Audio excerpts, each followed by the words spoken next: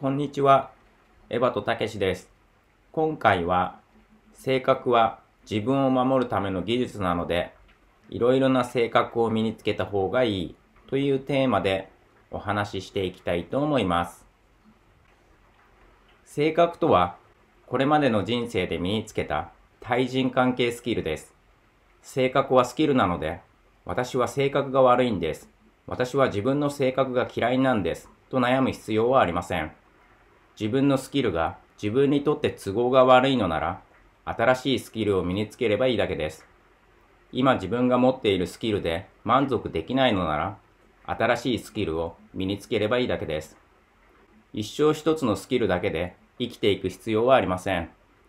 あなたはどんどん新しいスキルを身につけることができる。つまり、どんどん新しい性格を手に入れることができます。例えば、あなたが子供の頃、自分の気持ちを否定された経験をしたとします。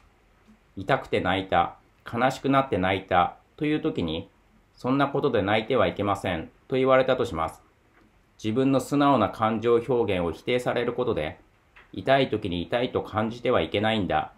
悲しくても泣いてはいけないんだと思うようになります。辛い時に辛いと言ったら、そんなことで弱音を吐いてはいけないと言われたり、嫌なことをやりたくないと言ったら、わがままを言うんじゃありません。黙って言うことを聞きなさいと言われるという体験を繰り返すたびに、自分の気持ちは言わない方がいいな。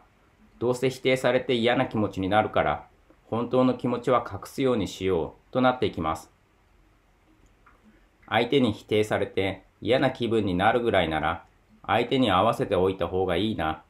相手の機嫌を取るために、相手が期待することを言った方がいいな、となっていきます。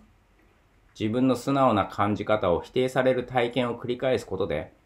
自分の感情を抑圧して相手に合わせるというスキルを身につけたということです。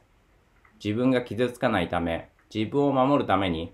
自分が言いたいことより、相手が言って欲しそうなことを言うという対人関係スキルを学んだということです。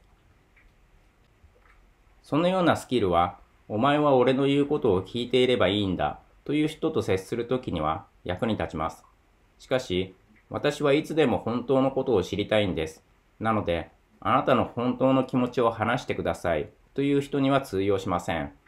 そのような人と接するときに、いや、私はあなたに合わせますから、私に気を使わなくても大丈夫ですから、という態度をとっていたら、相手をイラつかせてしまいます。頼むから本当の気持ちを言ってくださいと言われているのに、いや、私は他人に心を開かないんです。と堅くなに子供の頃身につけたスキルに執着することで、相手から嫌われてしまうことがあります。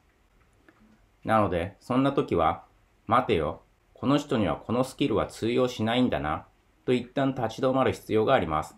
そして、どうやらこの人の前では、言いたいことを言うスキルを使った方がいいんだな。でも、私はまだそのスキルを身につけていない。よし、言いたいことを言うスキルを持っていないことを素直に伝えてみようと考えることができます。そして、私は自分の意見を言うことに慣れていません。だから、私が黙ってしまうことがあってもびっくりしないでください。これからなるべく自分が本当に感じたことを伝える練習をしていきますんで、よろしくお願いします。と相手に伝えることができます。新しい人と出会うことで、それまで使っていたスキルが通用しないことに気づき、新しい対人関係スキルを学ぶことができるということです。あなたは一つの性格に執着する必要はありません。性格は自分を守るための技術です。あなたはどんどん新しい技術を身につけていくことで、自分を守る能力を高めることができます。私も自分の意見を言いたいときは、堂々と自分の意見を言う技術、本当のことを言わない方がいいなと思ったときは、いやーと困った顔をして何も言わない技術、相手の気分を良くしたいときは、相手が期待していることを言う技術、